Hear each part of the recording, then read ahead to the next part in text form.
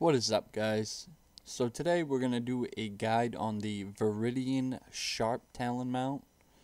Uh, pretty cool looking mount. Alright, let's get started.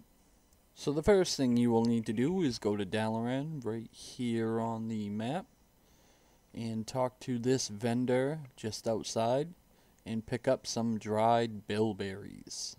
The next thing you will need to do is fly to Val'sharah and right there on the map is a world quest this world quest will have to be up for you to continue.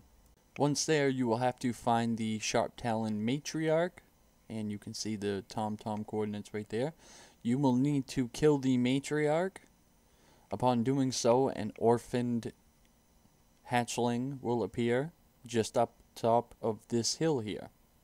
Run or fly up over this little knoll here, and you will find an orphan hatchling. The orphan is located right here on the map, just to be clear. Next, you will right click on the hatchling and feed him the dried bilberries that you picked up in Dalaran. After doing so, you will get this as a battle pet.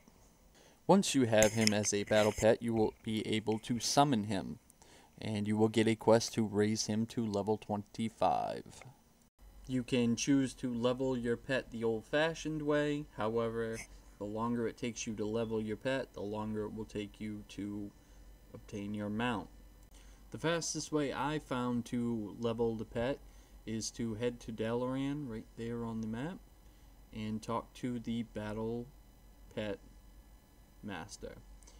In this tab, you will find Flawless Battle Stones that you can purchase for 3 pet charms each. That will cost you 72 in total because you will need 24. And you can simply use those to level the pet quickly. Once your pet reaches level 25, simply complete the quest right there, and your pet will then sleep for the rest of the day.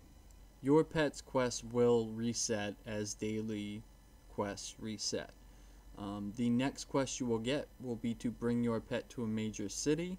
Now, if you guys are familiar with Children's Week and the orphans that you have to take around and complete quests with, it, this is about the same thing. Your pet must be out before you can complete the quest. Each day you summon your pet, you will get a new quest. There will be 15 quests in total before you will be able to get them out. Some quests will be to kill a certain type of battle pet with your orphaned battle pet. Some quests will require that you complete a world quest or even kill a raid boss or dungeon boss. There have been some changes since the last patch. There are now 10 quests and you can use your alts to complete them. Um, so if you have alts, you can go in and complete each quest and drastically reduce the time before you can get your mount. Once you have completed the quest line, you will then summon your pet and you will have a quest to return to the World Quest location. Once you return back to the World Quest location right there on the map, simply run up over that grassy knoll where you found the orphan before. You will find a matriarch laying there on the ground. Uh, simply right click and bandage her up and complete the quest. Upon completing the quest, the mount will be put into your bag, and congratulations on the mount.